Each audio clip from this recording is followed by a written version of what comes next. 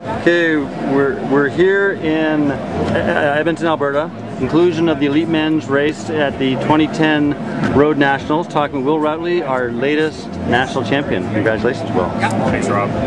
That's um, pretty impressive ride. I mean, you came across to the break on your um, with one other guy, um, and then uh, we're active in it all day. Tell, tell, tell me about uh, what happened. First of all, getting across to the break. When did you decide that you needed to be in that break?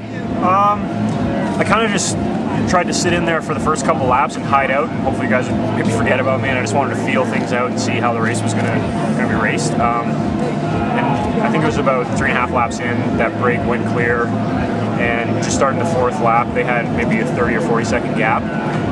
Um, and there was just kind of a perfect moment when everybody sat up and fanned across the road, and two of us just seized that opportunity. We uh, we attacked the group and tried to go across the break. Um, and the guy I was with, the two of us rolled together, got halfway there, and uh, I just wanted to get across really quickly, um, you know, so as not to be a carrot for the rest of the group behind. So I just, I just punched it up the second climb and got across the break really quick. Um, and once I was there, you know, we had a gap and it went out a little bit, and it was it was rolling well for a little while, and then uh, things started to get a little more disorganized, progressively more disorganized. Um, and really, all day I tried to just roll as much as I could, try not to kill myself, trying to be careful, but uh, roll as much as I could just to keep the break moving, keep that gap, because you know I don't want my teammates here by myself, and that's for me the best place to be is racing from the, from the front of the bike race.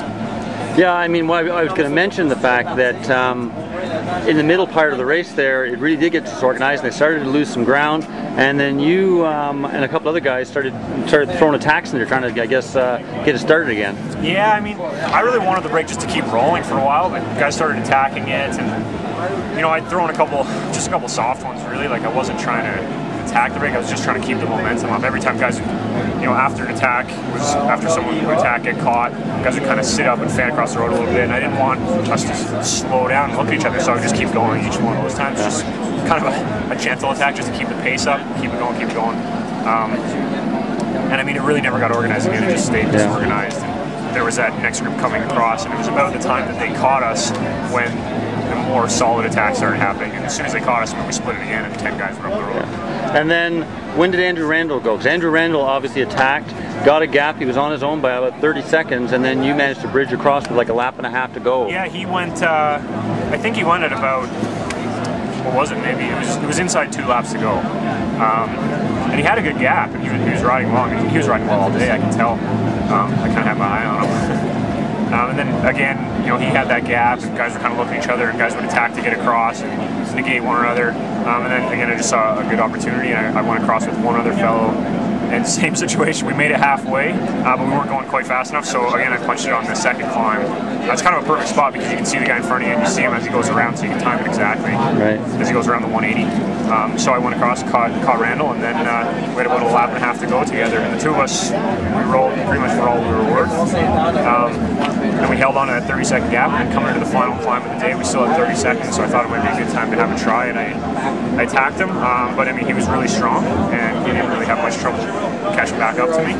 Um, and then all we had was the descent and then roll across the flat over the bridge and into the, into the park. Uh, and at that point, because I just attacked him, and because the group charging behind us had some other spotters, that guy's uh, he got the word to not work anymore, so I had to pull him down the hill and across uh, the bridge into the finish. Um, so I just went as hard enough to, to maintain the gap, go for the win, but uh, as easy as possible to try to save something and still be able to sprint. I mean, I came in and let out the sprint.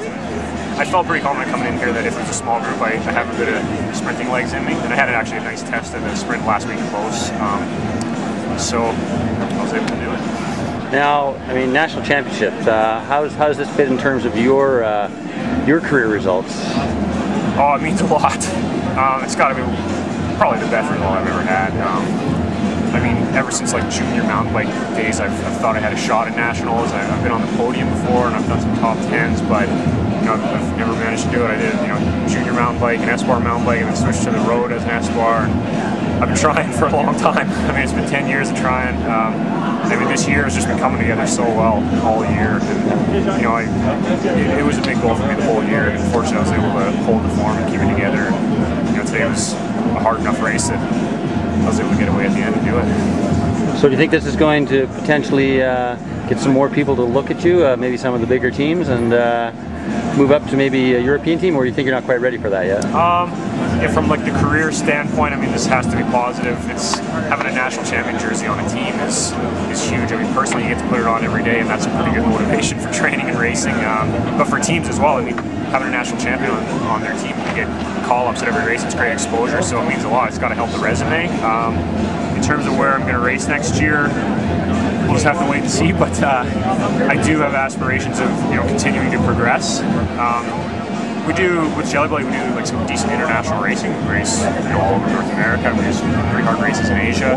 Um, but I do want to progress and you know races the level of Tour of California. I, as opposed to having that as the biggest race of the year, I'd like to do that a little more regularly. So you know that kind of guides me towards maybe a pro continental team or something like that. Okay. Well, again, congratulations. Oh, thank you. How did you find the course?